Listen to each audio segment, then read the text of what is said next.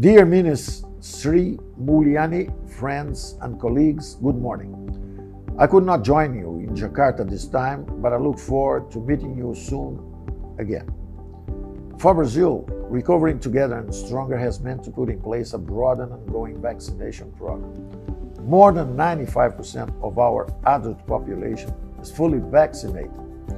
We offered emergency assistance to 68 million Brazilians our job preservation program protected 11 million jobs. In 2021, we created 3 million formal jobs and 6 million informal jobs. The unemployment rate at 11.6% is lower than at the beginning of the pandemic and is consistently moving downwards. While dealing with the virus, we kept our focus on fiscal sustainability and structural reforms necessary for a sustainable economic recovery. Our objective is to transform Brazil into an open, sustainable, and inclusive market economy of mass consumption. GDP in 2021 expanded by approximately 4.7% after dropping 4% in 2020, less than half the 9.7 drop estimated by the IMF, placing Brazil with only eight other G20 economies to recover to the pre-COVID levels. Our primary deficit dropped from 10% of GDP in 2020 to 0.04 in 2021, best level since 2014. Gross debt, doomsayers said it would reach 100% of GDP, is back to a manageable 80% in 2021. Public expenditures dropped from 26% of GDP to 18.6.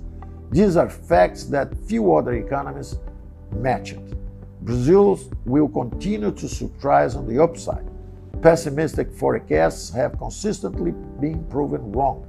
Our GDP dropped less, recovered faster, and we preserved solid fiscal fundamentals.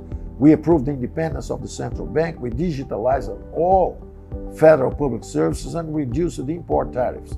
We approved the bankruptcy law, the startup law, and reduced inefficient regulations, improving the ease of doing business. We approved new regulatory frameworks to attract private sector participation in oil and gas, sanitation, railroads, railways, 5G network, which resulted in investment commitments of more than $150 billion for the next 10 to 12 years, with $40 billion in auction proceeds. Private investment will be the source for sustainable economic growth.